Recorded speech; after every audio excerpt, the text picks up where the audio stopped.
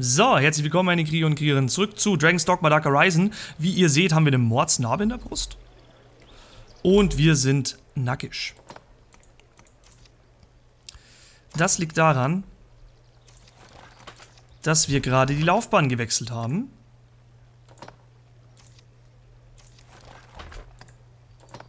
Was anscheinend weniger schlimm ist, weil wir viele Sachen wieder nutzen können.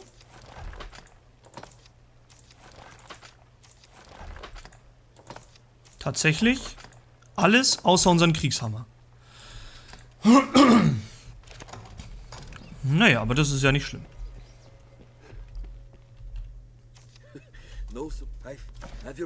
Das ist ja nicht schlimm. Den können wir direkt einlagern. Und jetzt zeigen wir mal, ob wir irgendwas haben, waffentechnisch.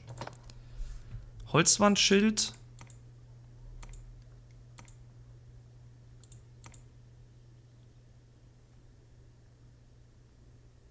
Der würde gehen.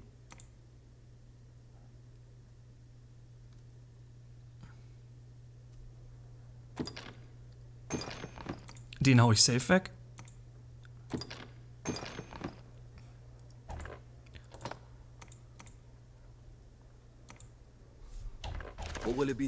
Haben wir da jetzt eigentlich auch so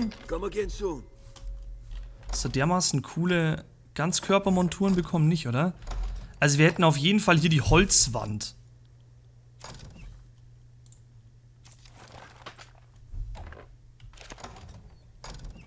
Das andere Schild können wir zurückgeben. so, was ist denn los?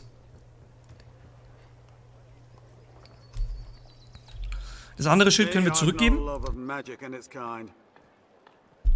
So, jetzt.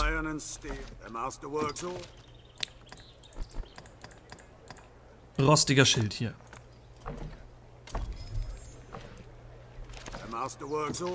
So, dann brauchen wir Feenklinge Breitschwert.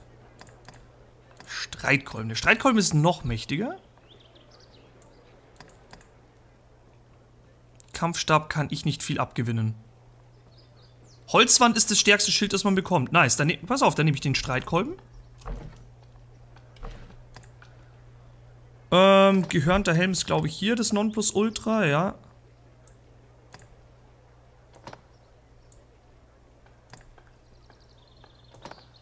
Hier haben wir sowieso die besten Sachen gekauft, die für unseren Charakter am sinnvollsten sind. Man kann den... Nein, nein, nein, nein, nein. Man kann natürlich den auch so ein bisschen auf Mage spielen, aber ich meine, wenn ich einen Mage spielen will, dann mal. Boah, ist das ein. Der sah viel kleiner aus. Huiuiui.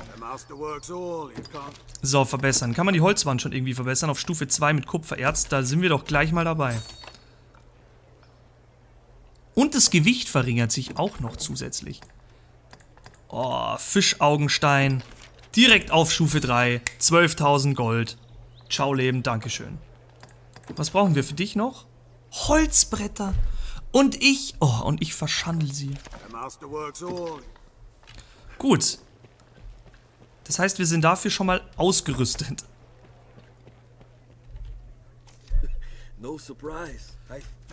Jetzt. Na, nicht Laufbahn wechseln. Also wir haben, wir haben den Kämpfer fast auf den höchsten Rang, wir haben den Krieger fast auf den höchsten Rang. Müssen wir uns noch drum kümmern, dass wir das früher oder später pushen. Jetzt sind wir aber erstmal mystischer Krieger. Andromache können wir aus welchen Gründen auch immer nicht nicht pushen. Es geht nicht. Deswegen mache ich sie jetzt erstmal zum Streicher nochmal. Ah ja, die wird ja auch dann die Ausrüstung wechseln, okay. Ja, das habe ich jetzt ein bisschen verkackt.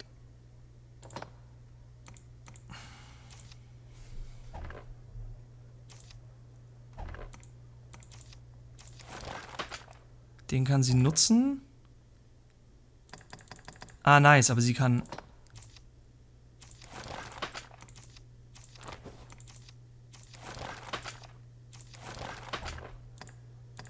Wir können zumindest auf alles zugreifen, was sich hier befindet.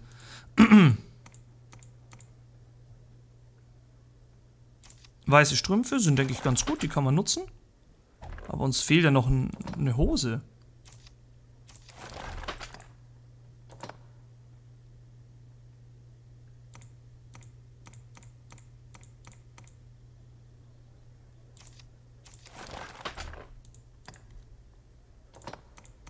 Check immer noch nicht, was es mit dieser Königinnen-Garnitur auf sich hat.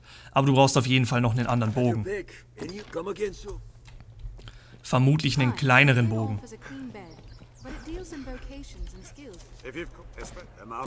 Ja, wir brauchen für sie einen kleineren Bogen, mein Freund. Den man schön als Zweitwaffe nutzen kann. Hier der Waldbogen. Ja, der ist optimal. Der ist optimal, mein Freund. Ja, damit. Ja. Wunderbar. Und dann würde ich den gleich noch gern verbessern, wenn das irgendwie möglich ist. Stufe 2, Wasser-Enzianwurzel, rein damit, 1280 Gold, jawoll. Schön. Ich finde es auch geil, dass das Gewicht weniger wird dadurch. So.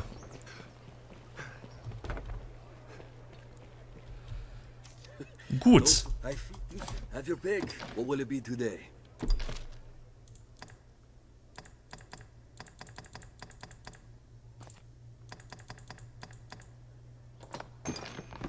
Der kann weg. Das mit dem Pfeilen, dass das nicht funktioniert, gell? Gut, wir haben das alles erledigt. Jetzt pass mal auf. Ich will auf jeden Fall auch hier ein bisschen was wegbekommen. Die ganzen Ringe. Ah, die vielleicht nicht, das sind DLC-Ringe.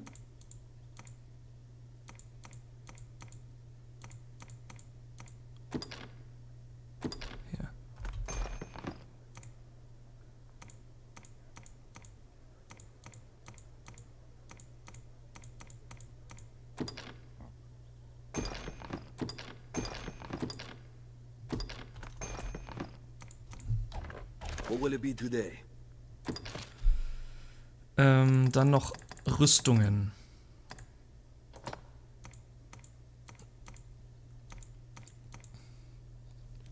Die können sogar nur Frauen tragen, diese weißen Strümpfe.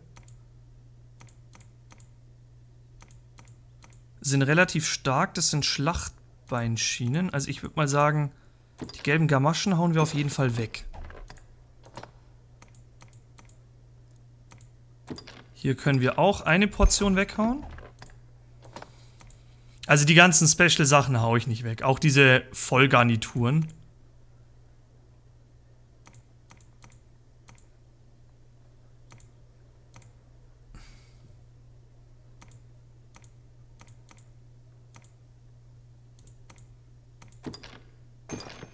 Ich weg.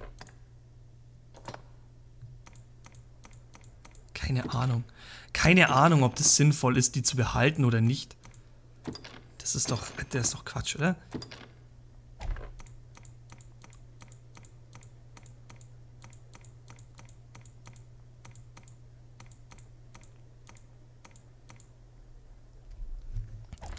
Von mir aus behalten wir den Rest.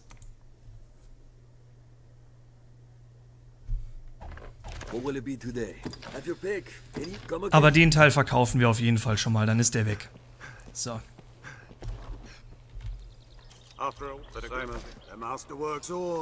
Nee, verkaufen will ich was. So, die Tiara, dann dich. Ist halt alles auch so unglaublich viel wert. Also really, das ist halt wirklich... Machst du halt auch gut Gold jetzt damit.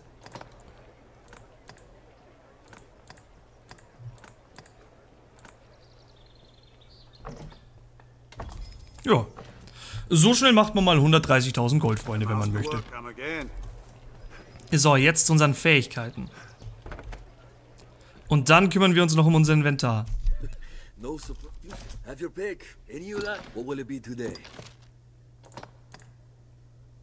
Was haben wir denn für Fertigkeiten?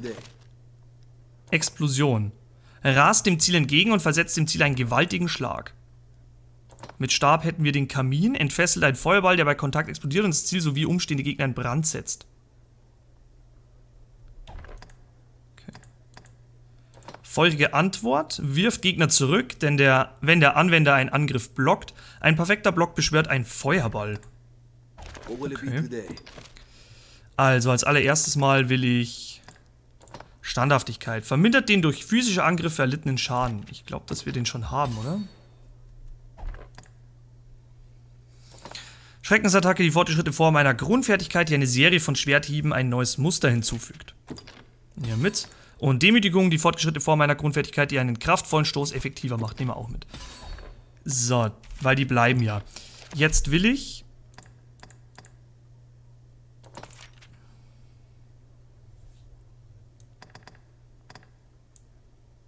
Nee, haben wir tatsächlich nicht.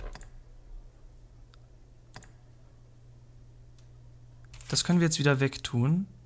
Da würde ich die Standhaftigkeit mal einbauen. Kühnheit halbiert die erlittenen Verletzungen, wenn der Anwender einen konzentrierten Treffer leidet. Äh, brauche ich jetzt auch nicht dringend. Rückzug bringt uns nichts. Muskelkraft.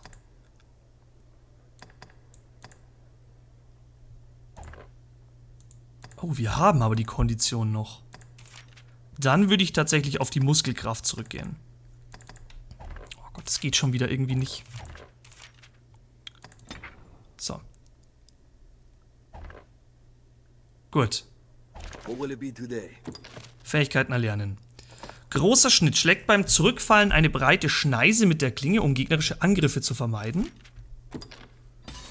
Himmelstanz bewirkt einen Luftsprung, der in einem furiosen Vorwärtshieb mündet und einen mächtigen Hieb erzeugt. Okay.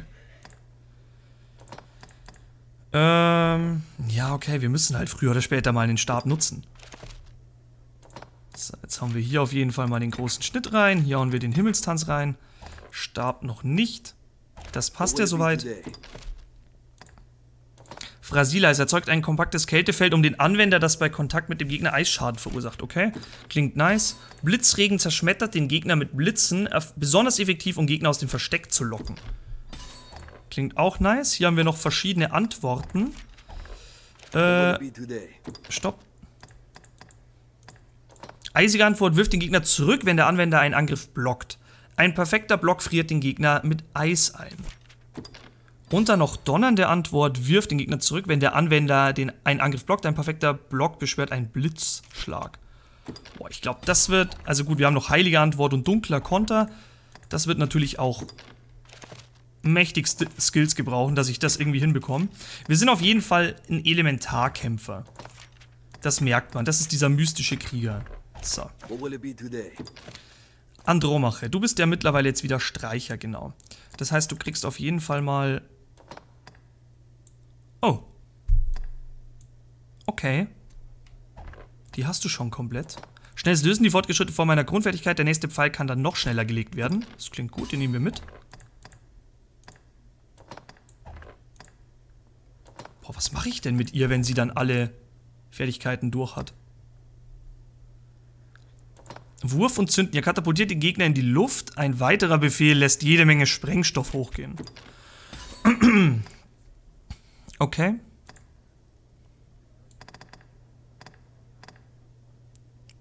Wurf und Zünden. Blendspurt.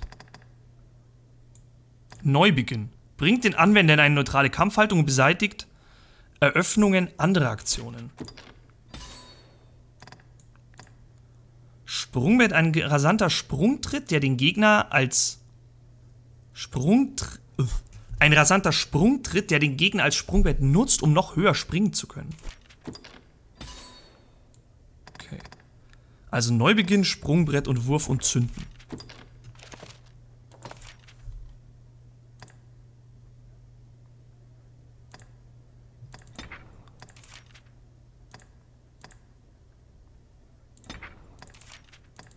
So. Ja, ja, wir sind noch nicht fertig, mein Freund. Hier haben wir auch noch ein paar Fertigkeiten, die wir dann ausprobieren können. So, jetzt fünf. Hier ist die Triade. Schickt, schießt drei Pfeile in keilförmiger Anordnung. So. Volle Dehnung. Spannt den Bogen mit voller Kraft und schießt den Pfeil geradeaus. Und der Pfeilregen. Schießt unzählige Pfeile gegen den Himmel, die in einem weiten Radius herabregnen dachte eigentlich, dass wir das schon haben alles. Anscheinend nicht.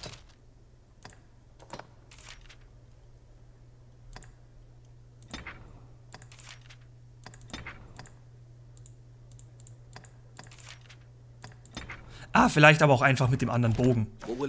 Kann natürlich auch sein. So. Bogenfertigkeiten haben wir, Kernfertigkeiten auch. Hier haben wir auch alles. Dann lasst uns nochmal kurz über ihre, ihre Hauptfertigkeiten gehen. Beständigkeit erweitert die Obergrenze der Ausdauer. Gewandtheit, das ist nicht so wichtig. Bewirkt, dass die Laterne einen größeren Bereich erhält. Das macht Sinn.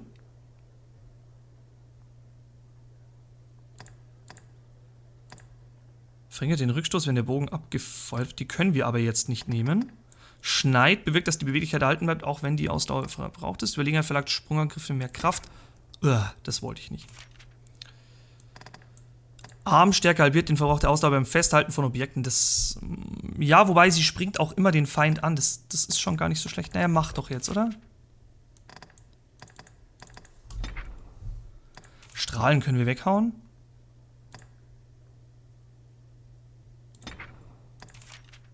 Langlebigkeit, das ist auf jeden Fall gut. Flugbahn. Gewandtheit wollten wir noch. Nee, Beständigkeit. Oh ja, auf jeden Fall.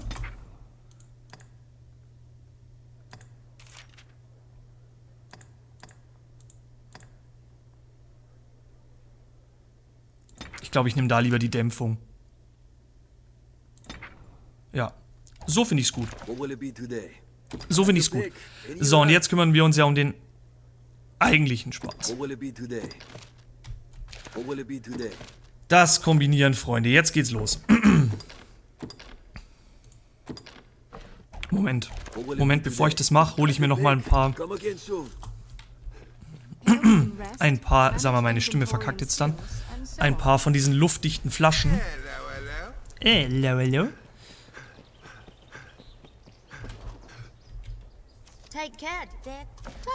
Ich gebe, ich gebe ganz ehrlich zu, ich war im Blocken nie so der King. Also auch in Dark Souls Spielen war immer so eine meiner nicht besten Skills.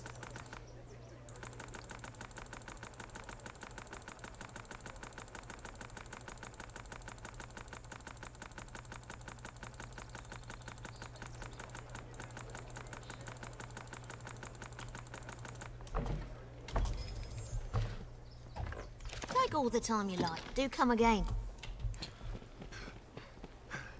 Guti. Wir hauen halt jetzt eine ganze Folge raus, ne, für diese ganzen Vorbereitungen. Aber wir haben auch echt viel geschafft jetzt in letzter Zeit. Da muss man das schon mal machen.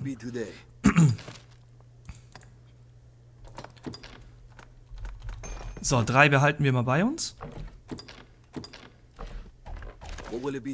Und let's go. So. Der Grünlattich.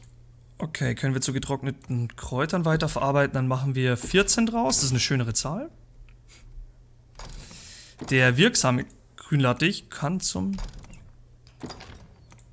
abgelagerten werden, okay? Von dem wir, by the way, auch wirklich reichlich haben. Hier können wir nichts machen. Pilze. Nee, leider nicht.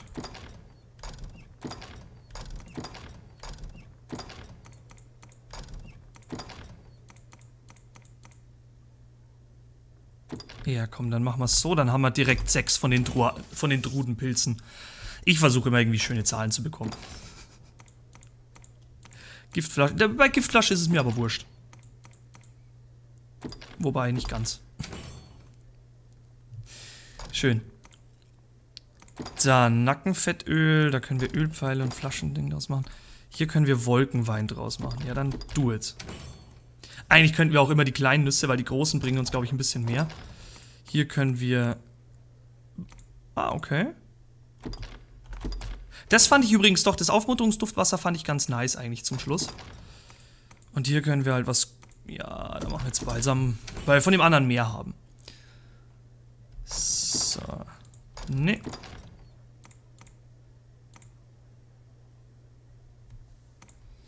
Auf jeden Fall mit der Alraune hätte ich gern zwei Steinmoosumschläge.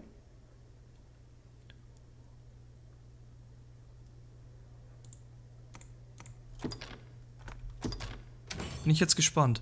Pfaffentrunk. Was bringt der?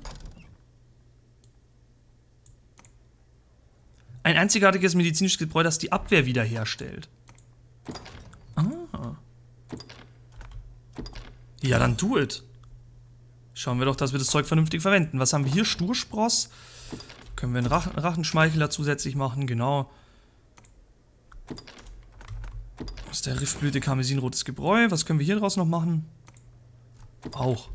Boah. Das karmesinrote Gebräu ist halt wirklich ein sinnvoller äh, Katalysator für weitere Kombinationen, Freunde. Hier geht nicht. Hier geht auch nicht. So, jetzt haben wir hier relativ viel von den saugfähigen Lappen. Dann machen wir doch hier noch... Chaksa. Ist jetzt nicht genau aufgeteilt, scheiß drauf. Mitridatum können wir nicht verwenden. Scharlach, Engelwurz könnten wir eine Gabe der Kraft machen, muss jetzt nicht sein. Getrocknete Kräuter haben wir genug. Eilgebräu.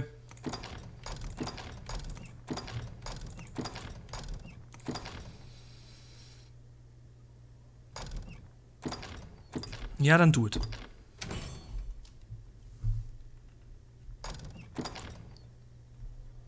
Äh, ja, okay. Äh, die Extrakte scheinen noch mal ein bisschen mächtiger zu sein. Da kommt was Neues dabei rum, okay. Silberweizenpaste. Mixtur aus magischem Silberweizen nehmt sie ein, um eure Magie für kurze Zeit zu verstärken. Das geht jedoch auf Kosten der Abwehr. Okay, muss einem also im Prinzip wert sein. So, hier haben wir unsere Nüsschen. Und hier haben wir jetzt unsere Beeren und das ganze Essen. Alles klar. Ähm, was ist, wenn ich das jetzt nochmal einlege? Kann ich dann zumindest die Gefährlichkeit des faulen Eis umgehen?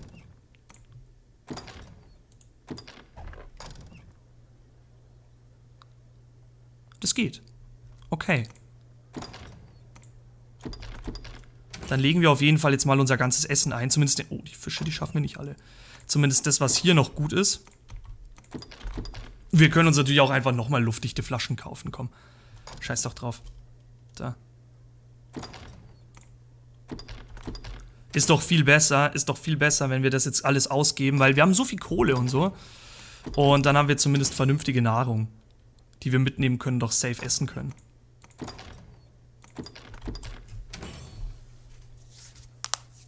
So. Ich ziehe einfach nochmal los und hole uns nochmal irgendwie, keine Ahnung, 100, 200 von diesen Dingern.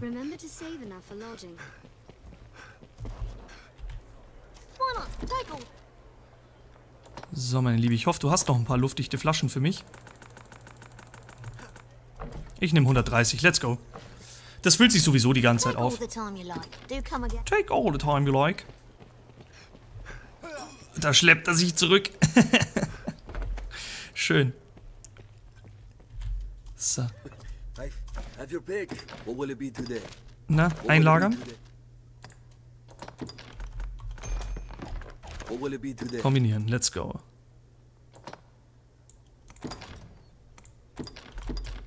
So, ewige Beerenfrüchte, sehr schön.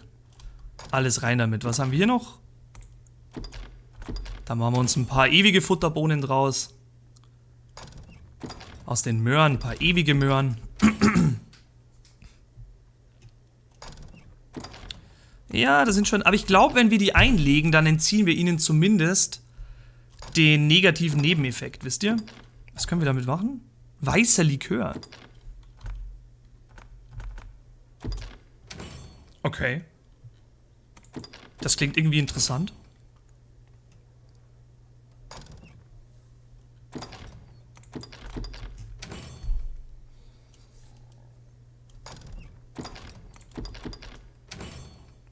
Ewiger gammeliger Kürbis. Immer gut, kann man sich noch Suppe draus machen. Aus Tier können wir ja mehr machen. Nackenfettöl, aber das haben wir alles schon. Deswegen lege ich es einfach ein. Ranzige Fische. Trotz ein... Also, ich, würde die Sachen ja nicht mal fressen, auch wenn wir sie luftdicht verpacken.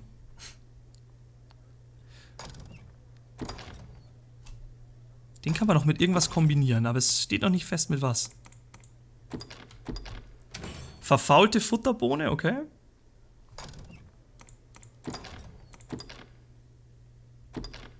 Das sind, glaube ich, die Sachen, die du wirklich nicht mal fressen kannst, jetzt wenn du sie noch luftdicht verpackst. Auch wenn die Möglichkeit besteht, es zu tun.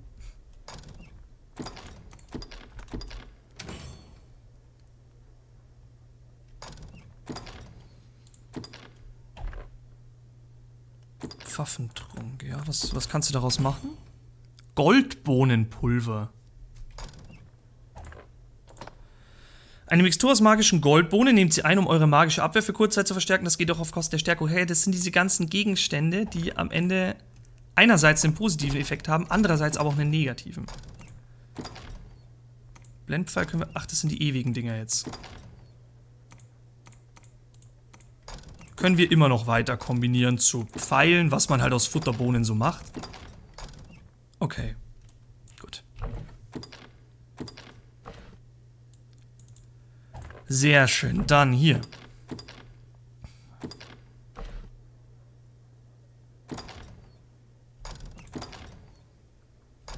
Können wir uns nachher drum kümmern, um den Spaß? Flasche mit Giftflasche. Machen wir noch eine mehr. Öl, kriegst noch eine mehr. Giftflasche, Flasche mit Öl. Sonst nichts.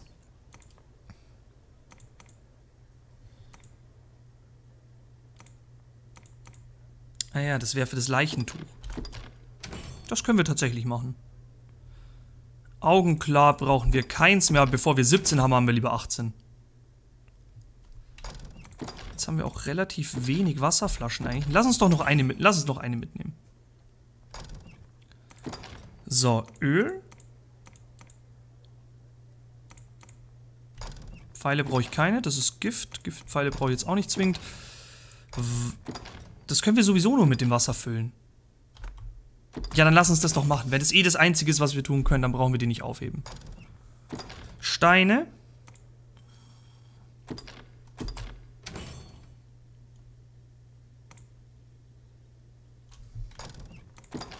Habe ich genug.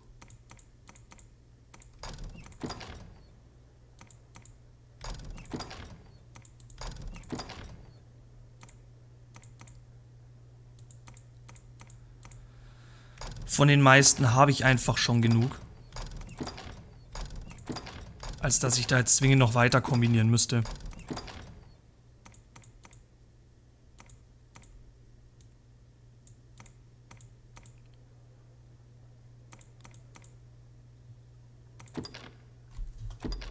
Eine Gabe der Kraft.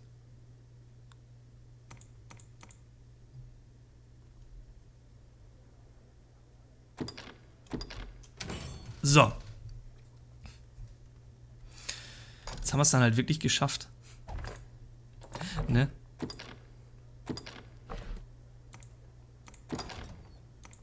Ach, da haben wir einen Vitali... Ja, komm, den lassen wir jetzt so. Oh je. Oh je, ich sehe schon, da kommt noch... Oh, da kommt noch einiges auf uns zu. Haben wir hier noch irgendwie was, was wir spontan jetzt ändern könnten? Hier?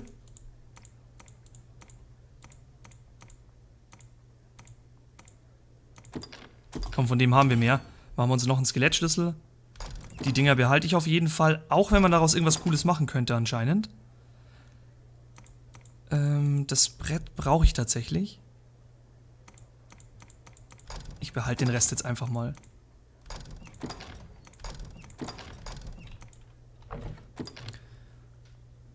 Okay. So.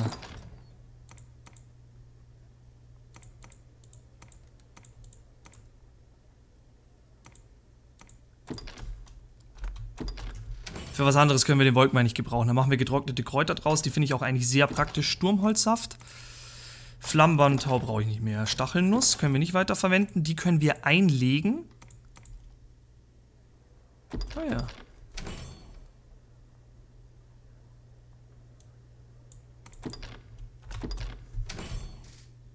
Dann bleibt er wenigstens frisch.